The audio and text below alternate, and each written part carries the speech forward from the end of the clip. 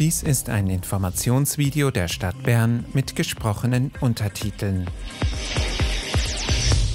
Schweizer Pass und Identitätskarte. In der Schweiz gibt es zwei Ausweise, den Schweizer Pass und die Identitätskarte ID. Beide Ausweise stellt der Kanton aus. Seit 2010 gibt es nur noch den biometrischen Pass.